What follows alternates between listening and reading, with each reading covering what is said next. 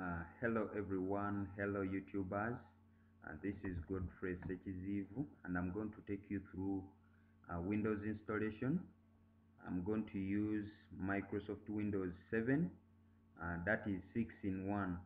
So we do have 32 bits and 64 bits in one installation file, which is the ISO file. Uh, it was last updated in August 2020. Uh, I'm going to use the VirtualBox for this setup and maybe some other thing I can say. Uh, the same steps you can follow when you are installing other versions of Windows.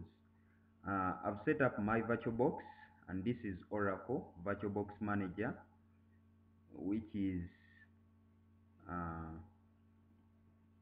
it is version version 5 uh, I think the the other things are 13 and the rest of stuff but it is version 5 I'm using on Windows 7 uh, and I'm using my Dell my Dell computer here. Uh, it is i5 and the rest of stuff inside.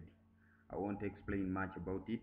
Uh, let's just dash into uh, today's video. Uh, so the setup if you have installed Windows like in the previous video I showed you how you can burn a Windows disk how you can uh, convert your ISO image and create a bootable USB drive. So in this video we are continuing it's just like a continuation of the other. So we are going to be using the CD-ROM or the USB disk uh, that we previously converted to a bootable media. So what we are going to do after inserting in your boot um, booting medium uh, that is the CD with Windows setup or the flash disk that is made to be bootable. So the next step we go to is to start our computer. Uh, so on starting the computer we press F9 or F12 but since I'm using VirtualBox I can't demonstrate these as I'm starting. So when you press those keys some computers it depends on the manufacturer. We have ASUS Apple Dell HP Compaq IBM uh, and so many who are coming up.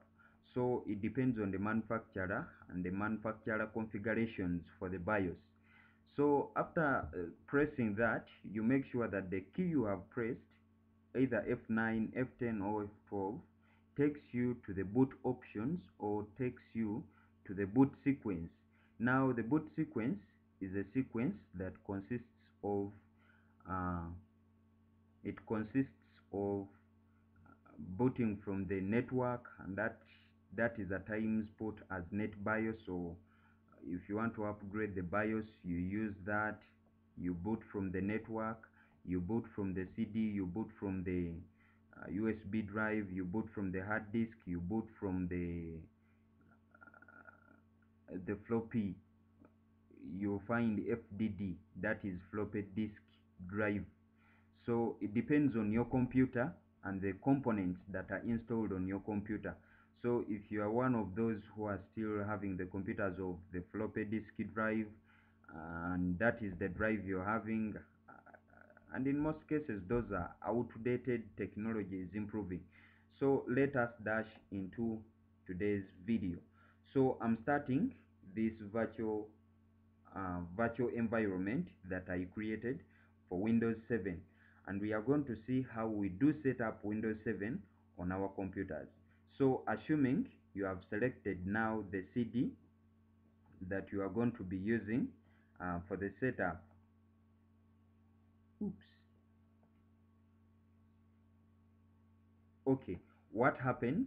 It is now requiring me to have uh, the CD installed, but otherwise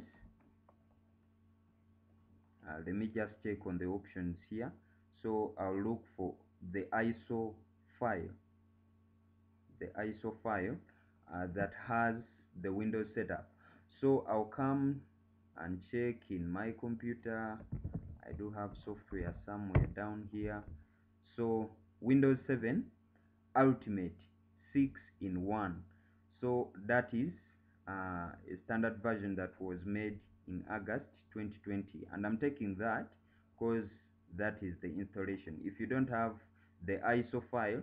Uh, you can go to Microsoft you download it and there are so many other websites you can go to and get this software. So you can see down there they were saying that press F12 uh, for the boot but I didn't press just because I know uh, this is VirtualBox so once I press some keys uh, some things might go wrong. So here we are on our screen and we are seeing uh, the Windows is trying to load the components. Uh, it is showing the Windows 10 logo uh, just because that version contains uh, some software like the .NET framework for .NET framework 4.7 which is also part in Windows 10 so let us wait for it to load the components and we see how we can go through different steps uh, you can go to different websites like getintopc.com you download this image. Uh, perhaps if possible I will set up the links in the description. Uh, as we continue and wait for the virtual box to set up each and everything uh, don't forget to like subscribe and turn on the no notification bell as well as you can share my videos with your friends. Yeah thank you so much I knew you clicked. Thank you. Yeah. So here we are. This is my virtual environment uh, generation 2 uh, so that is the computer that has been set up. And that is also part of the windows that is also being installed. So we come here. Language of installation. So we are setting up windows 7 once you boot from the other device that has the windows setup uh, in most cases we do not change this but if you want you can change the language to your preferred language. But for this version has only English in United States and then the time and currency uh, those ones you leave in most cases because uh, I don't prefer changing them. And actually what I do I just click the next button.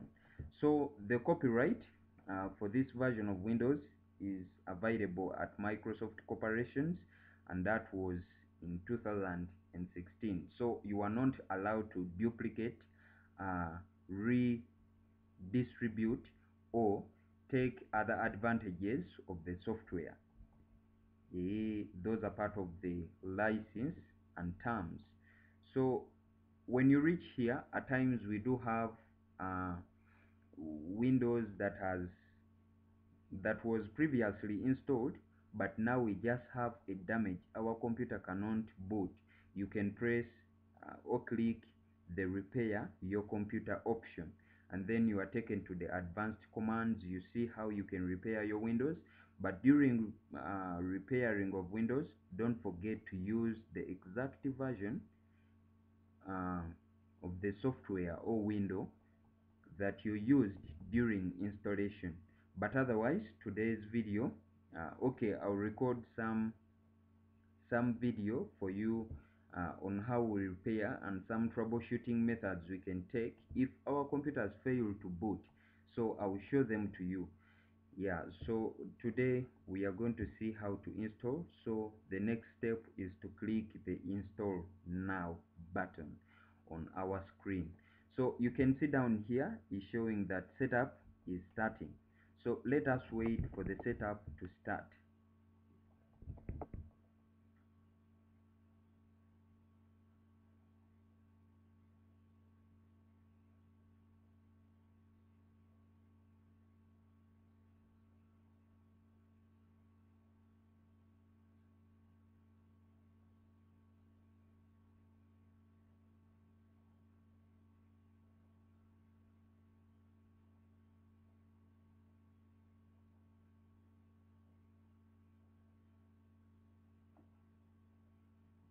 so this takes a couple of minutes. Uh, we shall wait and wait and wait until when it is done.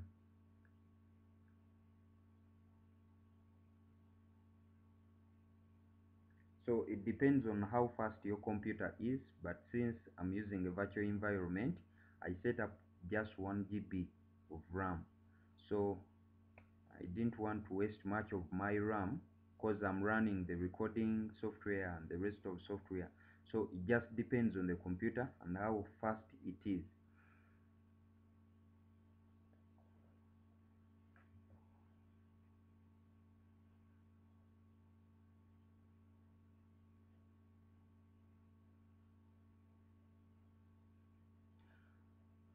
uh-huh. so here we are so we are having uh, different versions of Windows 7 Ultimate. So we do have the standard version and then we do have one that will be cracked by DAZ. We have one that will be cracked by that. And then so you realize here the architecture they are showing x86 and then here they are saying x64 so this one is compatible with 32 bits. You know when these people of computing realized that 32 bits was non-compatible to some hardware and software then they made a further establishment and so they up upgraded the architecture to 86 so we are taking uh, the standard version or STD Windows 7 Ultimate for 64 bits. And that is what I choose. Uh, we do have different Windows 7 versions like Home uh, Enterprise Ultimate Professional and Starter. But you realize that Ultimate Enterprise and Professional most in most cases we do prefer to use Ultimate in Professional. Uh, when you use starter version you realize that you get some complications in, in some complications in software installation. And even uh, performance of your computer might not be fine so what we do we take up the ultimate or professional version. So we continue.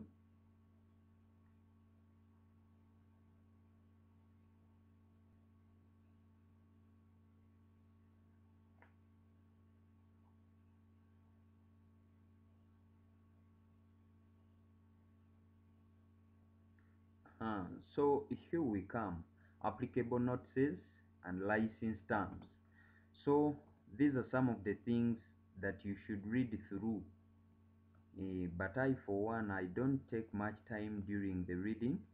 If I read like at my first uh, time when I was installing Windows 7 so I read through all these because I had to go through them and understand things that can come uh, if I pirate and do other things with Windows 7 uh, you know this is not my software and it is not from my company. So what happens uh, you might face challenges if you do uh, sabotage with the software.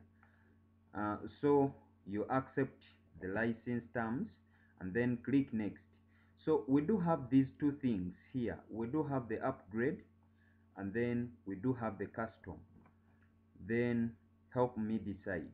So I won't click help me decide since I've been installing this uh, from yeah uh, that uh, that is about eight years back or even more than eight. So we do have upgrade uh, installing Windows and keep files settings and applications.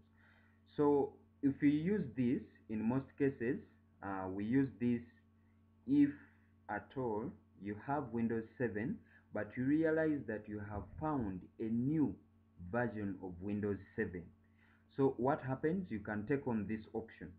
But in most cases I don't recommend you. I do recommend you to go for this. Why are we installing Windows on our computers at times the computers have turned slow due to lack of space. The computers have turned slow due to malware virus uh, and other attacks that have come to the computer uh, at times we do install new Windows uh, or copies of Windows just because uh, we would like to experience the new features in that Windows. For example, if I'm moving from XP to Windows 7, uh, I would like to feel hmm, what others are feeling. You get it when they are using Windows 7. I, for one, prefer Windows 7 just because uh, during programming it does not consume much memory. Uh, it is more secure in terms uh, of security uh, the themes and the rest of stuff in Windows 7 we do not have background uh, driver setup and the rest of stuff are easy when you are using Windows 7 uh, please you leave your comment why you prefer any version of Windows but Windows 7 I for one I prefer it. Uh, people might rush to Windows 8 but a little bit not good. I I recommend you if you would like to we to use latest versions uh, I recommend you to use Windows 10 because for that it is going through constant updates and upgrades. So you can just download your fresh copy uh, of Windows 10 and then install. So the same steps that we have been following from the start they are the same steps that you follow during Windows 10 installation. So I use the custom uh, this is install Windows only. So that happens uh, if you choose this option it will remove each and everything on your computer. I repeat don't take me bad. Don't mark me uh, don't comment those weird comments. Uh, when you do a custom installation there are two things that are going to happen. But what happens in common the drivers will be lost and the application programs that you had previously installed on your computer will also be lost if you use the custom installation. If you use the upgrade drivers uh, program files or applications and then the settings in your computer will remain. I for one prefer custom. So I use custom.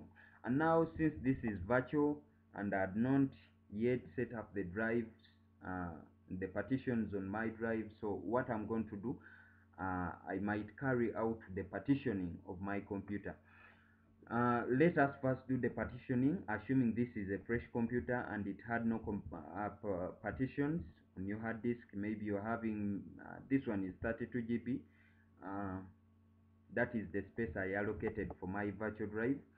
But you might have one of 320 you might have one of 500 you might have one of 1 terabyte 2 terabyte 4 terabyte depending on your desire. Uh, so I'll take on the partitioning don't forget it is 1024 that constitutes to 1 GB so if I want uh, if I want if I want maybe to have uh, I will take on 15 GB so I'll have 15 times 124 giving me 15360 so I'll take that as my uh, first partition that I will be using um, 15 15 360 apply. So since it is the first partition it will be taken as the primary partition. Uh, let us wait for the computer to yeah it has allocated the file. So what happens? I'm having this remaining unallocated space of 17 GB but you realize that if I click on this which is the primary partition so it is the one that will take on my Windows um, files and the rest of stuff that will come from the setup. So they are saying that there must be at least 18 GB of space. So what I'm going to do is delete this partition and create one partition of 20 GB so I will remove also the, the reserved space and then recreate one of 20 GB if you are not familiar with uh, with the partition creation what you can do uh, delete this. I need 20 GB so if it is 20 GB then I, I add the 1000 which is the three zeros. So apply so yes. Uh, it allocates so I'm doing this if this is a new hard drive. So this will be my other partition that will be for my files. So take note uh, just because my hard disk is small and Windows requires a huge space for installation uh, I recommend you to have if you're having 320 GB of hard disk then you can partition your computer to have uh, you can partition your computer to have uh, maybe 80 GB for Windows installation and then the rest for files. Uh, I would select this which is the primary partition and it is the one that I had selected first to carry on my Windows installation. So I click the next version uh, the next button and then Windows will start copying files. So we'll wait for that. When it reaches 100 it gets the files ready. Then it it installs the features installs the updates and then finishes up so those are the those are the steps that we do follow during windows installation. But i'm not leaving the video. Uh, we are continuing a little more to see other things that do happen after restarting. So don't forget to click the like button subscribe and also turn on the notification bell as well as sharing this video to others who would learn who would like to learn how to install windows on their computers. These steps are not the same steps we follow when we are installing windows xp and i will take you through that episode. I will record a video for it. I think it will be uh, after the troubleshooting video i will show you how to install windows xp so in those days uh, 2005 2008 uh, we had windows xp service pack 1 service pack 2 and service pack 3 and from service pack 3 that is when microsoft windows decided i mean microsoft corporation decided to take on windows vista as the new type of windows. Uh, when the program failed they started windows 7 after some years. And then uh, i think it was around 2013 2014 there windows 8 was already on market. And then 2015 uh, windows 10 had also started being published so people were rushing for it 2016 there um, but i was one of those people who did not like to run for Windows 10 just because of uh, security things. Uh, you know, new new stuff comes with disadvantages and advantages. So I don't recommend programmers and network engineers to normally rush for new things. Uh, at least take chance and participate in the debugging and testing, but do not take uh, risk of installing new stuff on your computers or computers of companies and warehouses where you're working because uh, you'll get security breaches and then you'll be penalized so this will take us some time uh, during the getting files ready that takes some time then uh, I'll just keep this and we'll move on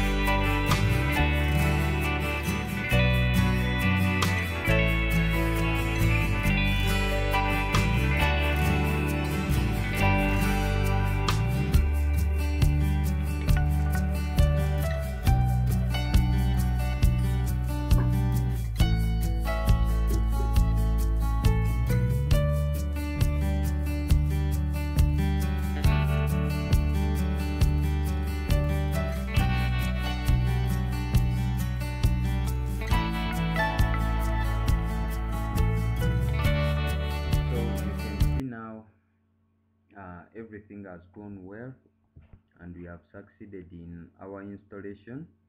So now we type in the computer name. So I've been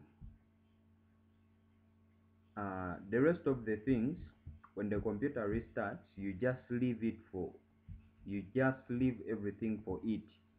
So it will carry on each and everything and that is needed. And then uh, you'll have your computer set up with Windows. So let us just put the name uh, that is name I've chosen. Uh, if you need the password you punch it in. Then you can select the time maybe Nairobi or some other time. Uh, I select public. So you are done with your Windows installation. That is how we install Windows 7 on our computers. So Windows is finalizing your settings. Uh, we'll wait for that and then we receive the desktop so we can start doing each and everything uh, from our new computer that has just been set up started. Uh, can see Windows 7 Ultimate. Uh, don't forget this was VirtualBox so it is now preparing my desktop and then I get to start. So those are the things that we normally do. Uh, the other part after uh, installing assuming uh, that part where we do the partitioning in case you find that uh, you, you do have some important files in downloads documents that you don't want to lose. Don't format. Don't format. Just click next. If you're having space then the computer will leave them for you. You'll go to windows.old and try to clean up each and everything that is there. But before cleaning it up uh, you'll have to you'll have to uh, make sure that you'll have to make sure that uh, you have already uh, taken the other backups from the documents and the rest of the folders that had your files.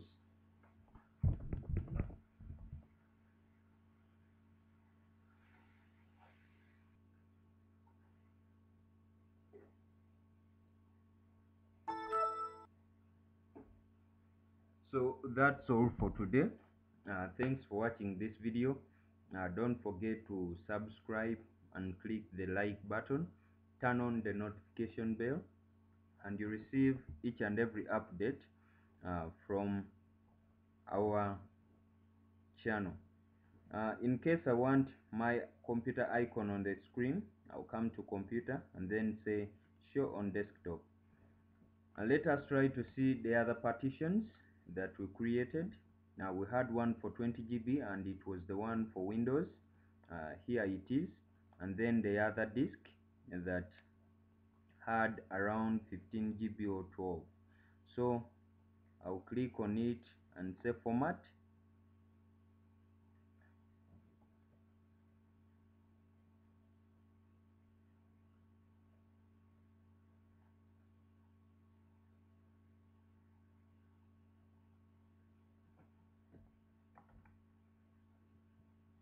if that is taking much time I'll click on manage here.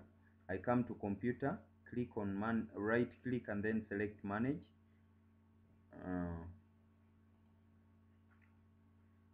so it will give me a dialog. Okay it has brought the format. So I can say my files. And that is the hard disk quick format. Okay. It should be in NTFS file format. Or that should be the file system that you should use for your hard disks. Uh,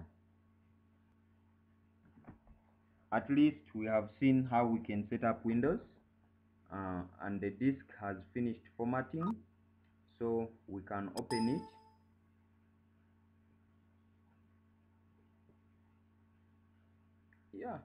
it is empty. Uh, thanks for watching this video.